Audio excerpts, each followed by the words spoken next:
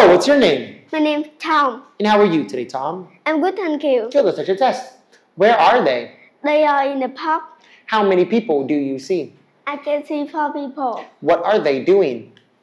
They are having a picnic. How many blue balls do you see? I can see two blue balls. Where is this blue ball? Um, this is in the um is next to the duck. Okay. What is it? It's a pineapple. Where can you buy pineapples? I can buy pineapple at the supermarket. What is it? It's a bag. What can you keep in a bag? I can keep money in a bag. What is it? It's a boat. Where can you see boats? I can see boat at sea. What is it? It's a radio. What can you do with a radio? I can listen to music with a radio. Okay, you did a very good job. You may now sit down.